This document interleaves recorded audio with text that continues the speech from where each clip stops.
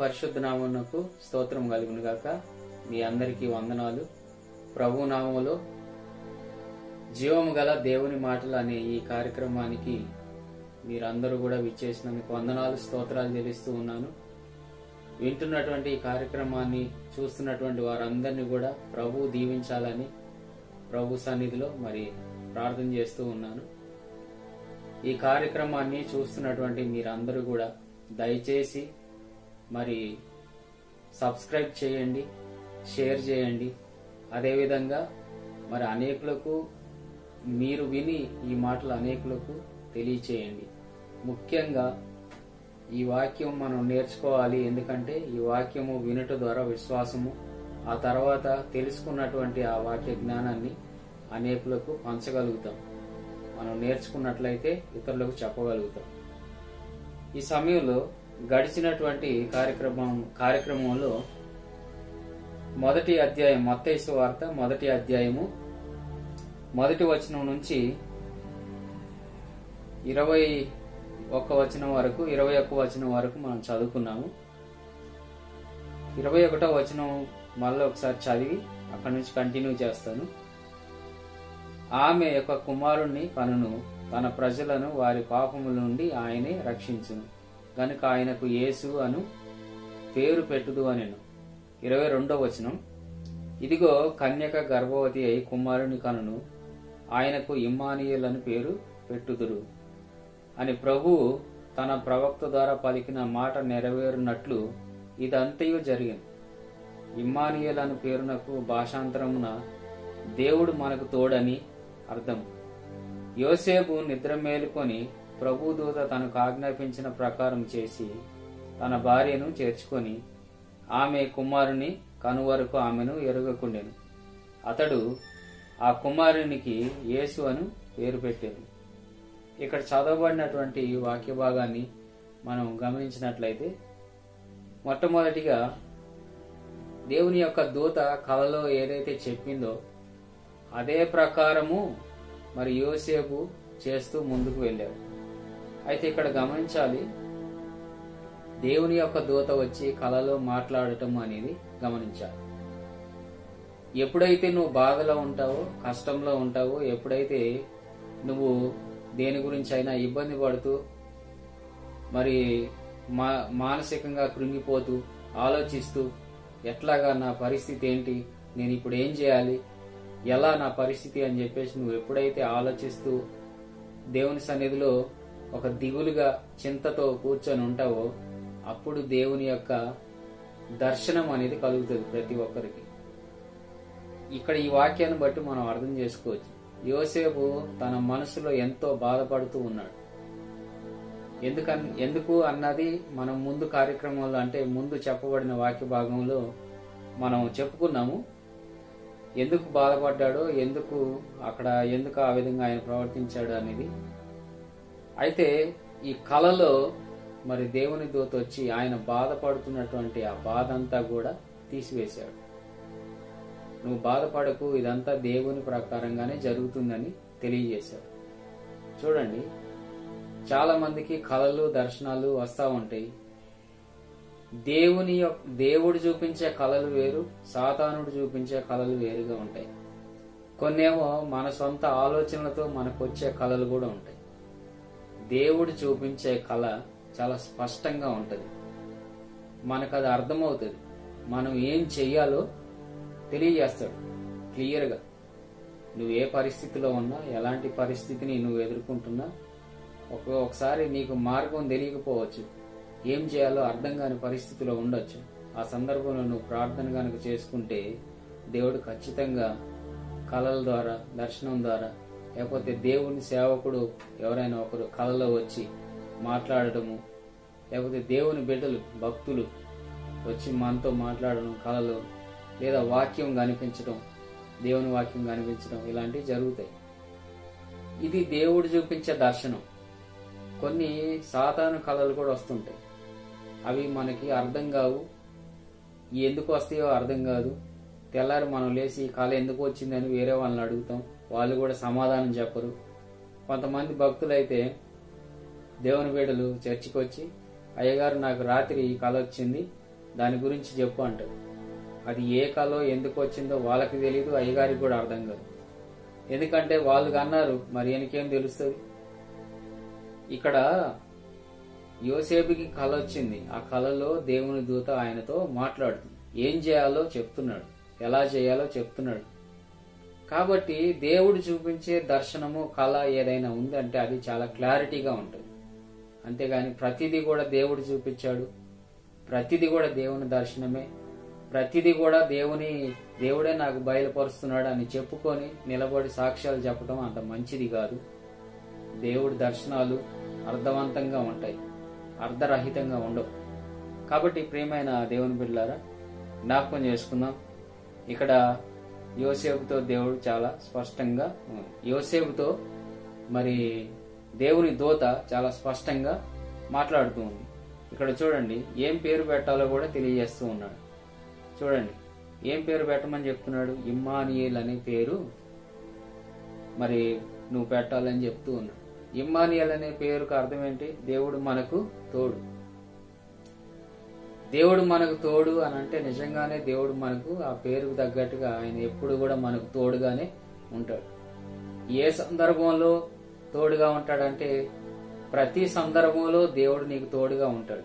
ఆ సంగతి నువ్వు గుర్తెరగా నువ్వు బాధలో ఉన్నప్పుడు కష్టంలో ఉన్నప్పుడు ఇరుకులో ఉన్నప్పుడు ఇబ్బందిలో ఉన్నప్పుడు నీకు మార్గం అనేది తెలియనప్పుడు దేవుడు అప్పుడు నీకు తోడుగా ఉన్నాడన్న సంగతి నువ్వు గుర్తెరగా ఎందుకంటే ఆ సందర్భంలో చాలాసార్లు ఏమనుకుంటారంటే బాధలో కష్టంలో ఉన్నప్పుడు ఎవరైనా వచ్చి సహాయం చేస్తే బాగుండు.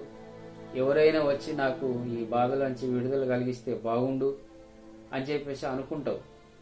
కానీ పక్కనున్న దేవుడు నీకు అప్పుడు గుర్తుకురాడు. ఎందుకంటే నీ సమస్య అంత పెద్దగా ఉంటుంది. నీకు సమస్య అంత ఎక్కువగా కనిపిస్తూ ఉంటుంది. దేవుణ్ణి కూడా మరిపిస్తుంది నీ సమస్య. దేవుణ్ణి మర్చిపోయేటట్టు చేస్తారు కానీ పక్కన దేవుడు ఉన్నాడన్న సంగతి దేవుడు నీతో ఉన్నాడన్న సంగతి నువ్వు మర్చిపోకూడదు. ప్రభు అయిన యేసుక్రీస్తు ఎప్పుడు కూడా మనతో ఉంటాడు. ఎందుకంటే ఆయన పేరు ఏమై ఉన్నది? ఇమ్మానియేలు. అంటే దేవుడు మనకు తోడు. ఇరుకులో ఉన్నావా? దేవుడు నీకు తోడుగా ఉంటాడు. బాధలో ఉన్నావా? దేవుడు నీకు తోడుగా ఉంటాడు. కష్టంలో ఉన్నావా? దేవుడు నీకు తోడుగా ఉంటాడు. ఆ విషయాన్ని ఎప్పుడు కూడా మర్చిపోవద్దు. తర్వాత యోసేపు నిద్ర మేలుకొని ప్రభు దూత తనకు ఆజ్ఞాపించిన ప్రకారం చేసి తన భార్యను చేర్చుకొనేను. చూసారా ఎప్పుడైతే ఒక వ్యక్తితో దేవుని వాక్యం గాని దేవుడు గాని దర్శనం ద్వారా మాట్లాడతాడో అతనిలో ఉన్నటువంటి అనుమానమే గాని బాధే గాని కష్టమే గాని ఎలాంటి చిక్కు సమస్యలే గాని తొలగిపోతాయి. దేవుడు మాట్లాడాలంటే ఏం చేయాలి మరి? దేవుని వాక్యం వినాలి. దేవుని వాక్యం వినాలంటే ఎక్కడ వింటావు? దేవుని మందిరానికి వెళ్ళాలి. లేకపోతే బైబిల్ అన్నా చదువుకోవాలి. దేవుని వాక్యాన్ని చదువుతూ ఉన్నప్పుడు అది మనకు తెలియజేస్తుంది మనకు కనువిప్పు కలిగిస్తుంది. అక్కడ పరిశుద్ధాత్మ దేవుడు మాట్లాడతాడు. దేవుని వాక్యాన్ని బైబిల్ని ఎలా చదవాలంటే మొట్టమొదట ప్రార్థన చేసుకొని ప్రారంభించాలి. ప్రభువా ఈ బైబుల్ నాకు అర్థం కావాలి అని అంటే నీ ఆత్మ నడిపింపు కావాలి కాబట్టి మీరు నాలోనికి వచ్చి నేను చదువుతున్న ప్రతి వాక్య భాగానికి నాకు కనువిప్పు కలిగించి అందులో ఉన్నటువంటి వాక్యాలన్నీ కూడా అర్థం చేసుకునేటువంటి మనసును నాకు దయచేయమని ప్రార్థన చేసుకొని అప్పుడు బైబిల్ చదవటం ప్రారంభిస్తే పరిశుద్ధాత్మ దేవుడు ప్రతి వచనానికి నీకు మంచి మంచి ఆలోచనలు ఇస్తాడు. ఇంకా చదవాలనిపిస్తుంది. ఇంకా ఇంకా ఇంకా వచనాలు ధ్యానం చేయాలనిపిస్తుంది. అలా బైబిల్ చదవాలి కానీ ఏదో నామకార్థంగా ఏదో కాసేపు చదివాము అని ఒక ఏమంటారంటే ఆచారయుక్తమైనటువంటి భక్తి దేవునికి ఇష్టమైంది కాదు. ఆచారంగా అంటే పొద్దున్న లేసాం చదివాం మళ్ళీ పెట్టేశాం మళ్ళీ సాయంత్రం మళ్ళీ చదివాం మళ్ళీ మూసేసాం అన్నట్టుగా కాదు. దేవుని వాక్యాన్ని ధ్యానపూర్వకమైనటువంటి విధంలో మనం చదివితే పరిశుద్ధాత్మ దేవుని యొక్క నడిపింపు చాలా బాగుంటుంది. ఇక్కడ చూసినట్లయితే ఆయన మరి మరియమ్మను చేర్చుకున్నాడు ఇంట చేర్చుకున్నాడు. ఆయన మనసులో నుంచి దేవుడు అపోహను తొలగించాడు. అపోహను తొలగించి ఇంట్లో చేర్చుకునే విధంగా చేశాడు. ప్రభు దూత వెళ్ళి దర్శనంలో ఎప్పుడైతే మాట్లాడిందో ఆ దూత ఎప్పుడైతే వెళ్ళి మాట్లాడాడో వెంటనే ఆయనకి ఏం కలిగిందంటే కనువిప్పు కలిగింది. కాబట్టి ఈరోజు నీ మనసులో ఉన్నటువంటి దుఃఖము వేదన సమస్య అన్ని పోవాలంటే దేవుని వాక్యము వినాలి. దేవుడు వాక్యం ద్వారా నీతో మాట్లాడతాడు. తర్వాత ఇక్కడ చూసినట్లయితే ఆమె కుమారుని కనువరకు ఆమెను ఎరుగకుండెను. అతడు ఆ కుమారునికి యేసు అను పేరు పెట్టెను అన్నది చూసినట్లయితే యోసేపు ఆమెను మరియమ్మను ఇంట్లో చేర్చుకోవటమే కాదు ఆమెను ఎరుగకుండెను అంటే వారు దూరం దూరంగా ఉన్నారు.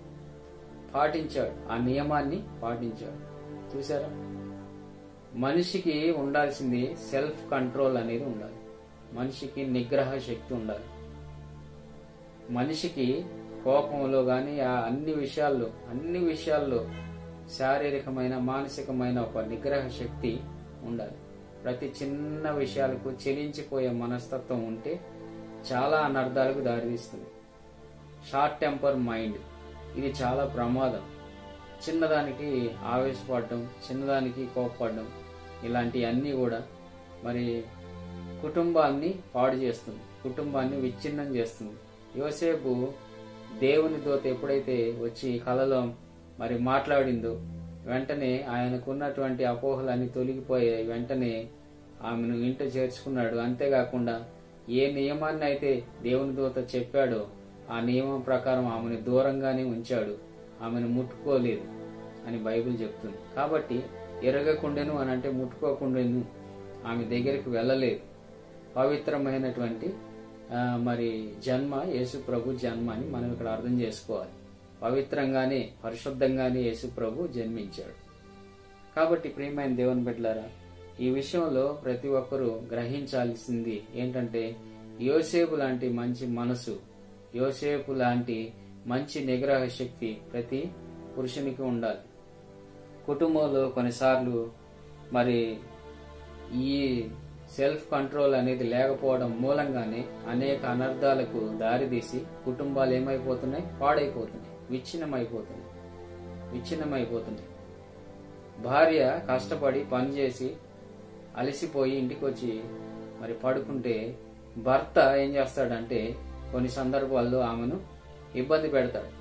అలాంటి సందర్భాల్లో భార్య ఏమంటుందంటే నేను అలసిపోయాను నా దగ్గరికి రావద్దు అని అని చెప్పినప్పుడు ఆమె అతను ఏం చేయాలి? అర్థం చేసుకొని దూరంగా ఉండటం మంచిది.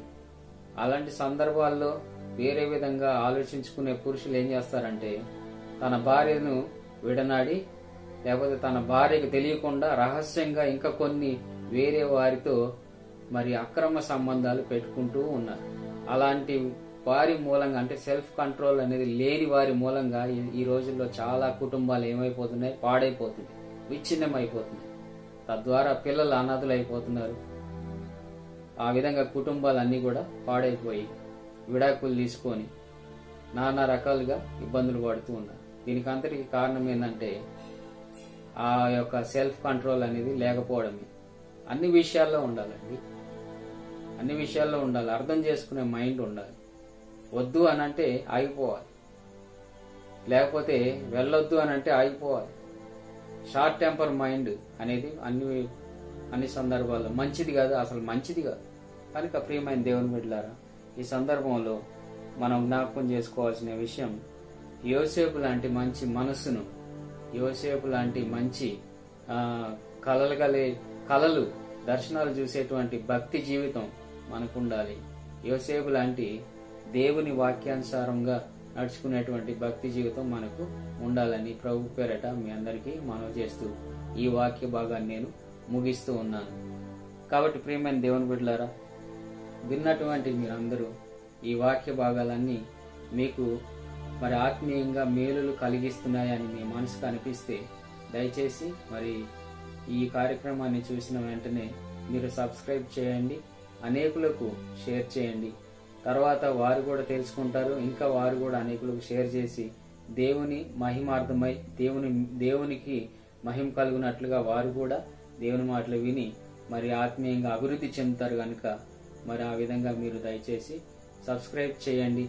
మరి ఈ కార్యక్రమాన్ని అనేకులకు పరిచయం చేయండి. దేవుడి మాటలు దీవించినగాక. ప్రైజ్ ద ఆమె